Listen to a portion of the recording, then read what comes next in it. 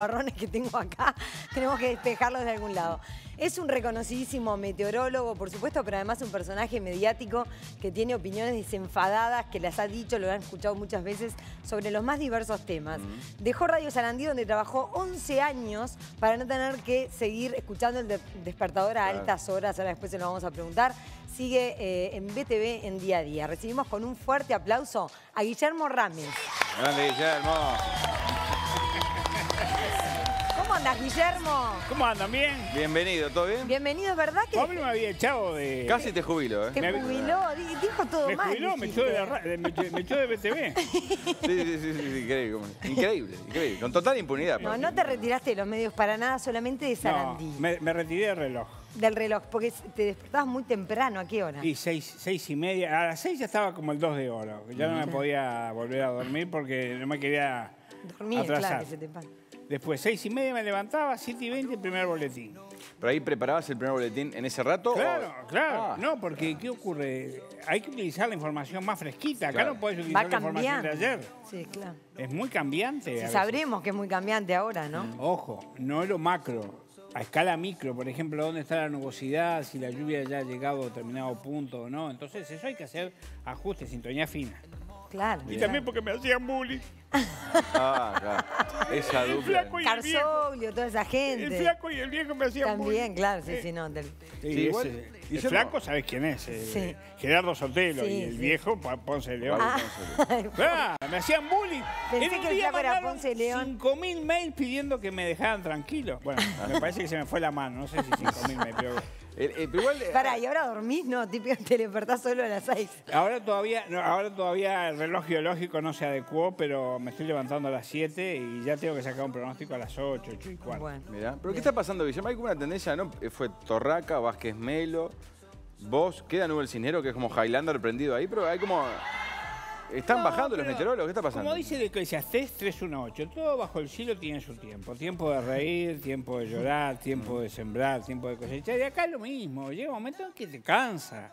No te olvides que... Eh, todos tienen años de trabajo también, ¿no? Decenas de... Claro, pero digo, es, es bravo. aparte es 24 horas porque... Cuando uno está cinco minutos dando un pronóstico, eh, esos cinco minutos lleva una preparación atrás importante, ya sea la presentación en PowerPoint o en alguna otra algún otro soporte de software. Sí, no puedes cerrar, aparte de nube a sol, no puedes cerrar, tenés que estar todo controlado. Eh, la información no es exacta, no es 100%, acá no es eh, página 14 a ver cómo está el tiempo hoy, hay que armarlo con la información disponible, pero igual te insume mucho tiempo. Yo comprendo a Diego, por ejemplo, que estaba de mañana a mediodía, de noche, yendo desde la casa hasta el canal, ida y vuelta, después con la enfermedad de la esposa, es complicado, complicado. Bueno, hablando de la, eh, de la poca exactitud en algunos casos, a veces no se puede, otras veces sí se puede, pero no, no ha habido la exactitud que la gente pretende. Eh, sin ir más lejos, una de las últimas grandes tormentas que azotó Montevideo el 3 de, el 3 de enero, estrenando el año, ¿Se acuerdan este, que, fue fuerte y difícil y además en donde estuvo cuestionada el trabajo, estuvo cuestionado el trabajo del INUMET, Instituto Uruguayo de Meteorología. Vamos a repasar un poco cómo se dio todo esto y a la vuelta hablamos sobre el tema. ¿Te parece, Guillermo? Sí, Adelante.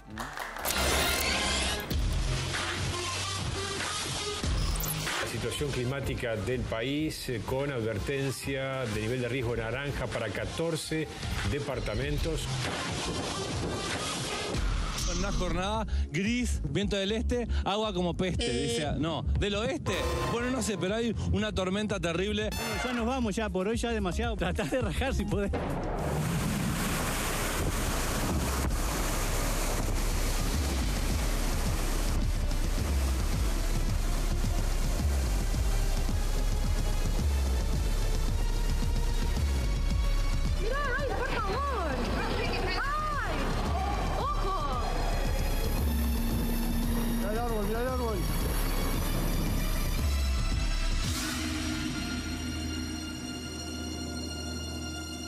Los registros del Instituto de Meteorología muestran ráfagas de 105 kilómetros por hora en la zona del aeropuerto de Carrasco. Hubo vientos de hasta 134 kilómetros por hora. El viento en el puerto de Montevideo alcanzó rachas de 150 kilómetros por hora. Bueno, acá se nos cayeron tres columnas de, luz, solo daños materiales, digo, los fierros se arreglan, este, pero a personas no, no hubo ningún daño. ¿Estabas arriba de la grúa? Estábamos arriba en el momento del temporal y estábamos 50 metros de altura más o menos. Y nosotros habremos estado 10 minutos, pero fue un, una- un viento de, de golpe que empezó y arrasó con todo. Dice que el hombre se pegó su gorro. Sí, el hombre acá que casi le da un infarto y yo ya estaba más preocupado por llamar a una emergencia que por, por el viento. Estamos en Tristán Narvaja y Paysandú, sobre todo en los últimos minutos. Acá, sí, no, no solamente el auto Victoria, sino que además hay un tendido eléctrico que está abajo de ese árbol que ustedes están viendo. Hay un auto que está totalmente destrozado, que bueno, todavía Decime que no había nadie adentro. Y del otro. No, no, no, no, no. Estaba bajando unos libros este, y siento un, un golpe y una explosión de vidrios. Y bueno, eh, no- me fijo para atrás y había caído a dos metros míos. Eh, zafamos. No había nadie adentro del vehículo. Nadie, por suerte todavía no llegó el dueño, así que bueno. Los dueños de, de- de los autos, este bueno que ya está arruinado y el otro que está comprometido, ¿todavía no aparecieron por allí? No, no aparecieron los dueños de ninguno de los dos autos, Victoria. Alguien que le avise al dueño del auto que... ¿Apareció? ¿Ese es el dueño del auto? Muchacho, te estábamos esperando. Ahí apareció, mirá, increíble. A ver. Ahí apare- mirá, está mirando Ah, cómo se le abolló un mira poquito, la pero tiene que. Ah, no. realmente darse... Sí. Ti- Tiene que, realmente tiene que alegrarse, ¿no? A, a ver, claro, resopla, claro, no entiendo, le molesta el abollón, pero que mire el auto de al lado que está totalmente escrachado. No apareció el dueño de este, ¿no? No, por ahora no. Este va a venir un poco más eh, triste, ¿no? No tan contento como el otro ¿Qué que se parece? salvó. Eh, sí, hasta, o no va nunca más, porque total, claro. En fin, insistimos, hay que agradecer cuando no hay daños de vida, ¿no? Pero bueno, de todas maneras, imagínate, un 3 de enero, que te pase eso. A ver, poneme por favor. Esto, mire lo que es esto. Atiendan el baño químico yendo como hacia Carrasco. Ahí va. ahí pasó. Ahí va, ahí va, ahí va. Mira, mira, mira. Tremendo, ¿no? no. Tremendo que se te caiga un baño químico encima también. Encima con una persona adentro y con un water. Pero qué sabe usted si había una persona adentro. ¿Qué pasó con Inumet? No avisaron nada, la verdad. Es sobre sobre mojado, ¿no? Inumet coloca la alerta En este- naranja. en este caso, literalmente. Literalmente, ¿no? Coloca la alerta naranja en el momento en el cual se están este, dando los hechos. No sé qué piensan ustedes, pero digo, así no nos hacemos patria. El Salto era naranja y Artigas era verde. Y uno miraba la imagen satelital a las seis y media de la tarde, Artigas seguía verde y la tormenta ya estaba en Artigas. Nos escribían a la radio diciendo que había vientos muy fuertes, tormenta eléctrica. Hay que tener cuidado con esas cuestiones, más allá Rami- del sentido común. Ramis decía ayer en Sarandí, justamente a las 6 y cuarto de la tarde, pinten Artigas, por favor, porque va para ahí. Inumet recibió críticas porque la alerta naranja se cambió a destiempo. En ese momento, digo, sí, tuvimos un cierto error. No, porque salió 12 y 10 un- una actualización del amarillo y salió, eh, era naranja. na- eh, errores este, humanos, este, no, no, no más que eso. La tormenta vino de Argentina y se coordinó con los servicios meteorológicos del vecino país para tratar de predecir el rumbo de la misma. Estos fenómenos son, son de muy corta duración, muy puntuales, es muy difícil de masticar el lugar. La semana pasada, Guillermo Ramis, que, que se retiró, unos días antes de su retiro, estuvo acá en nuestro programa. Él nos advertía que esta semana, hoy en realidad eh, lo daba el modelo en ese momento, pero decía, hay que ir siguiéndolo. Veía algo muy feo. Para el 4 de enero estaban dando una situación de temporal con una bruta tormenta y todo. Habrá que ver si. Todavía falta mucho, por supuesto, pero habrá que ver si eso se va a cumplir o no.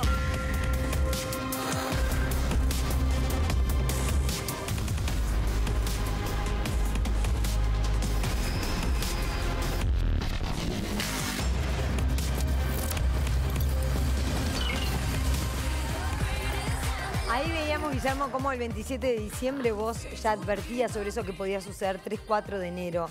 Eh, es, es un tema de cómo vos lees la información disponible y cómo la lee el INUMET. ¿Qué sucedió en ese caso? ¿Por qué el INUMET A- a- después tenía una alerta a- menor de lo que era? Mira, te cuento, Cecilia, hay varias cosas involucradas. Primero, que el invento mata al inventor. Esos colores aparecieron después del famoso temporal de agosto, del, Del 23 de 2005. agosto del 2005. Mm. Entonces, ¿qué ocurre? Nadie critica a ver si dieron tormenta o no dieron tormenta. Es si pintaron su departamento que tuvo determinado fenómeno de tal o cual color, si fue naranja o fue rojo. Es como que te parás en el medio de la calle con un cartel de pare frente a un camión expreso. ¡Pare porque está el cartel! Y te va a dejar como una estampita contra el suelo. Y acá lo mismo. Eh, yo sacaría esos colores y diría concretamente qué tipo de fenómeno se espera. Los modelos matemáticos no son la panacea ni la solución a todos los males. Es la mejor herramienta disponible que tenemos.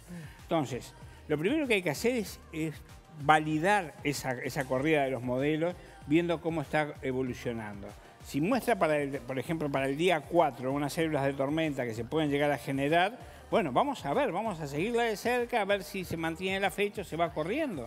Pero hay elementos. No se puede decir que esas células de tormenta van a actuar sobre Montevideo o sobre el Parque Valle. Eso es mentira que dijo algún met- pseudometeorólogo por ahí, de que con 12 horas antes se podía pronosticar. Esto no se pronostica en ningún lado.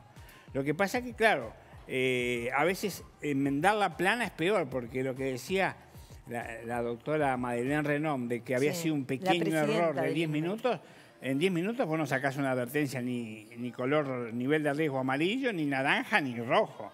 Esto lo tenés que venir masticando desde, desde horas antes. Entonces no puede decir que 10 minutos de desfasaje cuando estaba la tormenta allá arriba.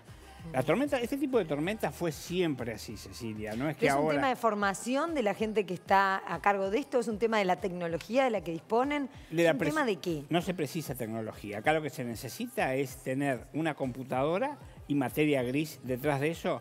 Y hay que ver qué tipo de presión tiene toda esa gente, porque no sé qué directiva le habrán dado. Si cuando sienten una tormenta, automáticamente sacan una Sí, es advertencia. delicado el tema para no generar alarma todo el tiempo, ¿no? Claro, pero digo, esas advertencias color, por ejemplo, en el 2014 tuve que investigar un tornado. El tornado ocurrió en una playa de Colonia y todo el país estaba pintado de naranja por tormenta severa. O sea que había 18 departamentos restantes que estaban en una alerta por, por nada. Sí, Y no, todo aparte. eso es dinero. A veces pasa que hay tantas advertencias amarillas o naranjas Claro. que después, como el cuesto del. de- Claro, de del pasar pas- mentiroso. Claro, dice, "Ta, no pasó nada en este, el que viene no va a pasar Claro. tampoco. Digo, meteorología tiene grandes problemas. Grandes problemas, uno de ellos, por ejemplo, en la forma de trabajo.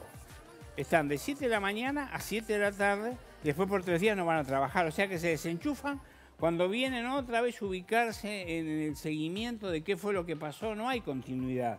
Entonces, no hay una persona que esté toda la semana llevando la situación meteorológica como lo hago yo en la cabeza y viendo a ver para validar el modelo si el modelo está bien o está chapita o, qué- o qué está pasando con el modelo.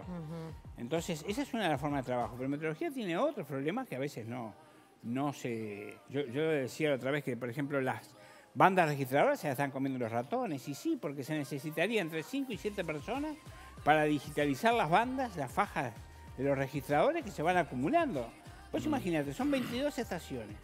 Sí. Ponele en promedio entre 3 y, y 4 bandas por día. Son bandas, explica un poquito Las bien rápido. faja, porque no entiende una la gente. faja, sino- es una faja donde se van que va, que va dibujando. adosada a un mecanismo de relojería que gira. Sí. Eso no es todo digital, es una banda de verdad. Es una banda de papel Mirá. y una pluma de una punta de Pero- fibra. Fa. Como un electrocardiograma, por decirte algo. Exactamente, Exactamente, exactamente. Eso se va Imagínate generando en distintos cinco puntos del país. electrocardiogramas grandes, más chicos, más Sí. grandes. Por ejemplo, en el caso de los anemógrafos que registran el, el viento, la intensidad del viento, son unos manchones de tinta que se pegotea eso.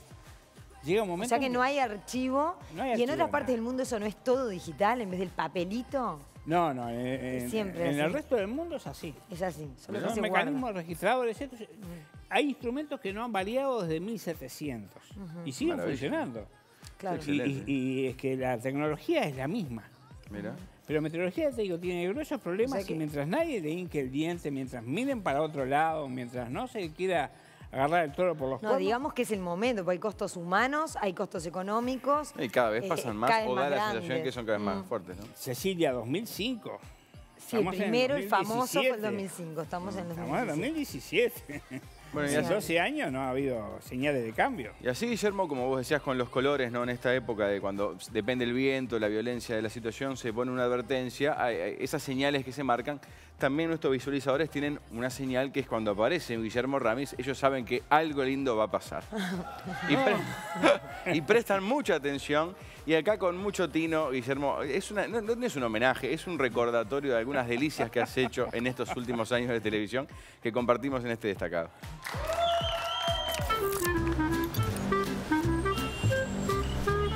¿Por qué meteorólogo? Y porque el tiempo es mi vida, mi pasión, mi todo. Sí. Yo no soy meteorólogo. Yo soy chamán. Yo soy chamán. Me inicié en Perú y utilizo los hongos para entrar en trance.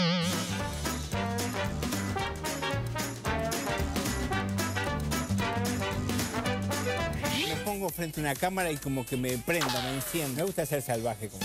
¿Qué vamos a hacer hoy, cerebro? Tratar de conquistar el mundo. ¿Qué tal, Rufo? Acá estamos de devaladero en Cuba y estamos a la sombra de un cocotero. Es un abogado en, en Brasil, Antonio Vilasboas, tuvo, una- tuvo, tuvo sexo mientras manejaba un tractor en la propiedad de su familia, tuvo sexo con un extraterrestre. Y viene, y y ella le señalaba, el vientre le señalaba las estrellas. Está viniendo el apocalipsis, Luis. Quedan nueve días. ¿Para qué quedan nueve días? Para el fin del mundo. Así que anda preparando tu alma. Sol, lluvia, lluvia, sol, la gente anda como loca. Los estados se amenazan con destruirse, con hacerse desaparecer. ¿Qué te parece? Recién me estabas enseñando que cuando querés es que ver cómo viene el viento, no es que chuparse el dedo y hacer así. ¿Cómo hay que hacer, Rami? Todo el, todo el dedo para adentro. Va girando. Otro dedo, vamos a usar otro dedo, vamos a usar otro dedo, vamos a usar el índice mejor. Pero no tiene nada de malo usar el dedo mayor. Si no, lo, lo cortamos, no sirve más.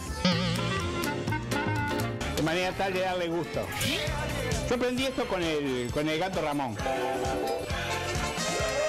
El gato Ramón. Me animaría a preguntar quién es el gato Ramón. Es mi gato. Entonces, por ejemplo, sabe mucho de pescado y cuando yo hago algo me dice, "Mm", entonces eso no va. Cuando me hace, "Mm", entonces de eso va un poquito más. Sobre Carlos. Carlos tiene una esposa muy bonita, primero. Él mismo lo ha dicho. Segundo, él se considera feo. Él es una persona tremendamente insegura y tiene miedo de perder a su mujer. Ah, Entonces, responder. él, él lo que quiere hacer, Para, él lo que quiere hacer es controlar. Y después no es hipócrita, por favor. Cecilia, está defendiendo la No, se te fue la moto. La... A ver. Que cuando termine el programa me voy a presentar, y sobre todo con Rami, para que vea que no tengo un ojo arriba y una boca. de- o sea, soy una persona normal y corriente. Mi señora es muy bonita, no soy feo para nada. Pero Al contrario, tú, me considero muy atractivo. Fuiste tú que dijiste que cuando en la pareja de swinger tu mujer enseguida conseguía un candidato, eh, mientras que tú tenías ciertas limitaciones porque no eras tan agraciado. Fuiste Y tú porque que las dijiste. mujeres son histéricas, ¿o no sabes eso? Ah, bueno. Pero ¿cómo viene el tiempo? Ahí estamos viendo mañana eh, miércoles. Miércoles. ¡Miércoles! El sábado les cuento que en la tarde pasa un frente frío. Y, re- y que refresca bastante. Sábado.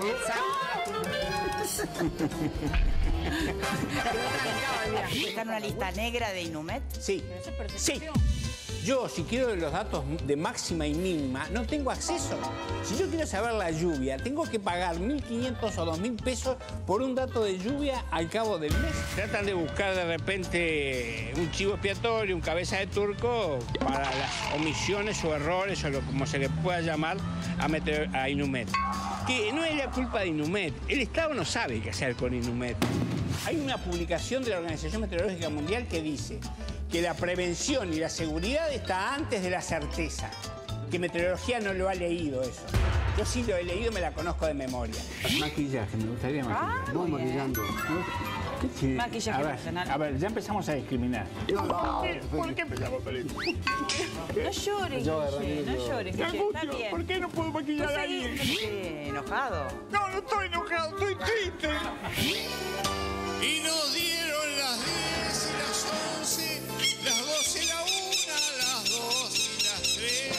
Y desnudos al anochecer nos encontró la luna.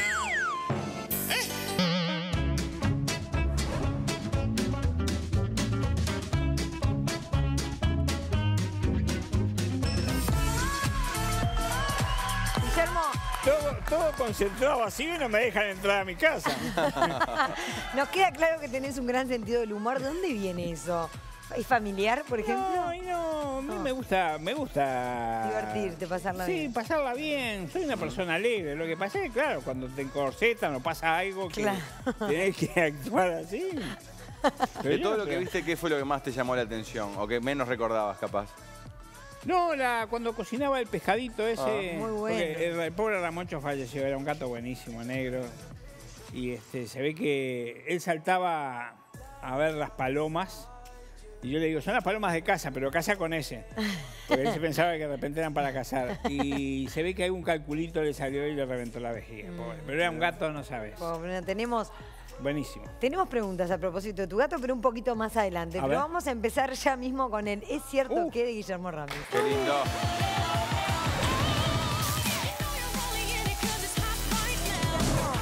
¿Es cierto que tu pasión por la meteorología comenzó en la escuela gracias a un globo?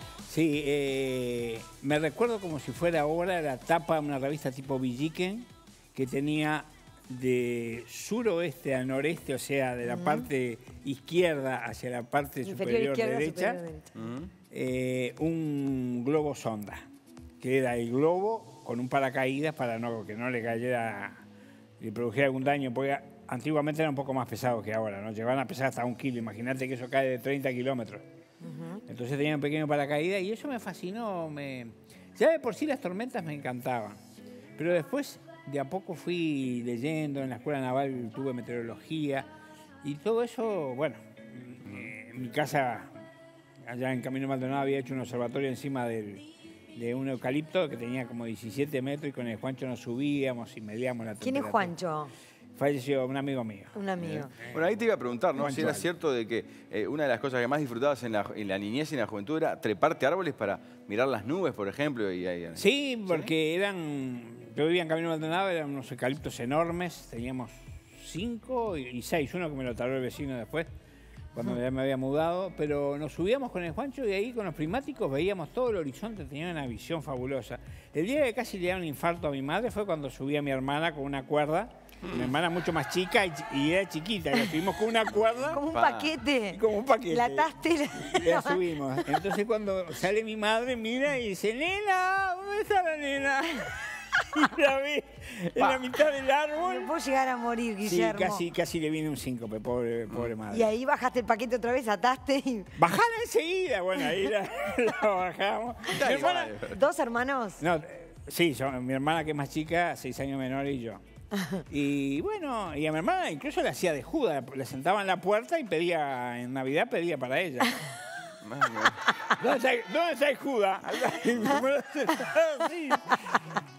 Qué divino. ¿Es cierto que sos capitán de navío retirado? Sí, exactamente. Bueno, recién dabas ahí una, una Capitán de navío retirado, he hecho de todo un poco. Ujú.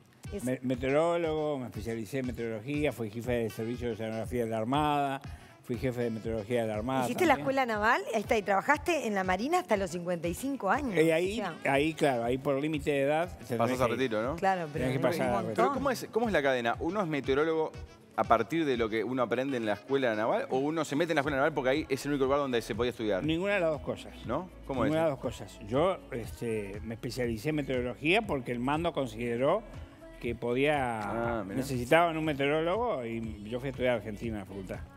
Pero vos has dicho que desde los 15 a los 55 viviste en una burbuja y que recién a los 55 empezaste a hacer lo que querías. Y eso que en la Marina tuviste muchas responsabilidades también, porque veía que también fuiste al Feris y tuviste en una fragata con 80 personas a tu cargo, ¿no? una fragata no, estuve No. en un lugar, en el FUSNA, Fusileros Navales, Ah. en la parte de la logística, con 82 personas Uh. a mi cargo. Preparar la comida para todo, toda aquella tropa de gente que era, eh, conseguirle los uniformes, las botas, todo lo que es eh, necesario para que una casa funcione, bueno, ahí lo mismo. Y a los 55 venías masticando esto, te cayó la ficha, no, quiero dedicarme a la meteorología No, específicamente. yo ya me dedicaba a la meteorología. Ya estabas, Lo que pasa ah. es que en, la- en la Armada te, te embretan, te dicen, Claro. bueno, usted hace lo que nosotros le decimos, no se me salga de acá porque le damos con un fierro. Digo, son cosas que a veces, por ejemplo, cuando uno piensa que yo siendo aspirante miraba por la ventana y terminaba preso, No, no. o leía el diario y terminaba preso, es decir, que son cosas que de repente uno no las entiende si no las vive. Además, cuando uno te ve con tu personalidad, justamente en las cosas que veíamos recién en los medios, Claro. este, no puedo imaginarte acatando todo eso Y tantos bueno, años. cuando yo entré tenía 16 años. Mi padre era chico. marino mercante, entonces él no quería que yo pasara las privaciones que le había pasado porque se inició de foguista y fue dando exámenes tras exámenes llegó a jefe de máquina. Lo que pasa es que lo mató la tecnología porque él era jefe de máquina de vapor y después cuando vino el motor, Mm. otra vez, pero empecé a, la- a los Estudiar, 50 años a estudiar con, con familia, con todo, Igual, llegó a ser segundo maquinista a motor también. Pero claro, eh, era bravo, ¿no? Mirá, eh, esto capaz que es bravo también, pero es una pregunta de una historia increíble. ¿no? ¿Es cierto que te casaste dos veces con la misma mujer? y, a- y hoy estás casado con ella. a ver, queremos detalles. Es bravo, es bravo porque, por Genial. ejemplo, yo tengo 14 gatos. Ella tiene 6 perros que le llevó mi hija. Ajá. Pero vivimos cada uno por su lado.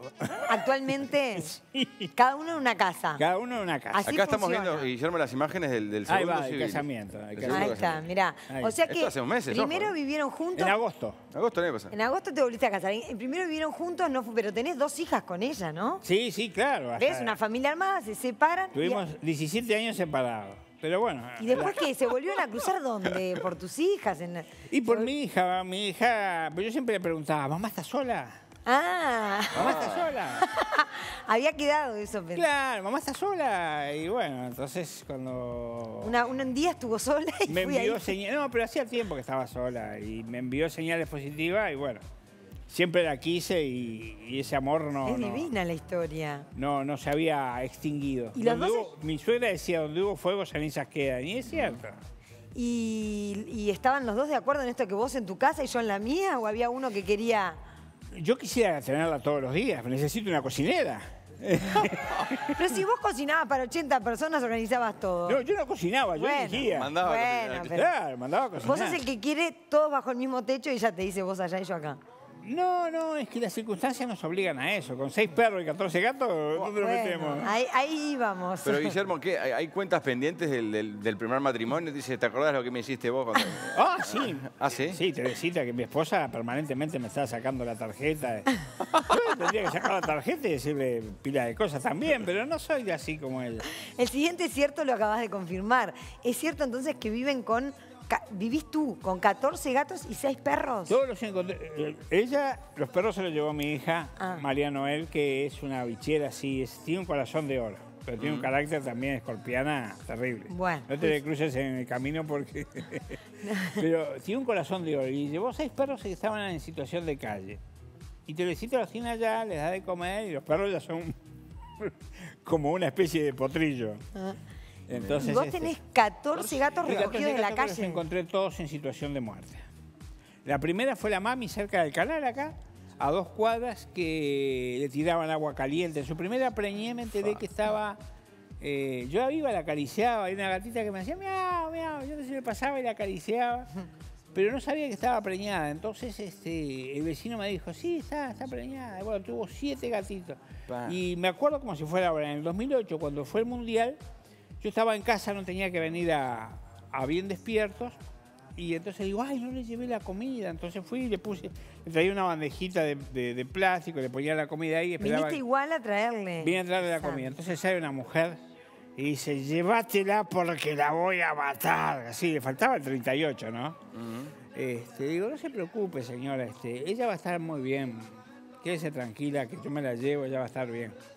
Bueno, no sé si fue una especie de maldición o qué, pero a los tres meses se le murió el esposo y a los cuatro meses se le murió el pobre perro que lo tenía arriba de la azotea. No. Invierno, verano, con un solazo bárbaro. O sea que. Y la gatita me la agarré así, estaba asustada, pobrecita, la mami. Y me subí a un taxi y me, me la llevé. Después cuando me bajé con la gata, digo, ¿pero qué hice? Me subí en un taxi con la gatita. Y tuvo siete cachorritos. Y después, claro, algunos hermanitos que eran inseparables con la idea de darlos, pero no podía colocar uno, voy a colocar a dos que eran inseparables. Entonces me fui quedando y está, pero ya no más. No, no, No doy más. más, No doy no más más. porque ellos no, ya. no vivís solo con los gatos, Gema. Sí, esta le, la vas a responder después de la tanda, Guillermo, pero la dejamos planteada y pendiente. ¿Es cierto que convivís con un fantasma? Cierto. Es increíble. A continuación, Vamos a, vamos a una tanda y ya venimos con más y ciertos de Guillermo Ramis.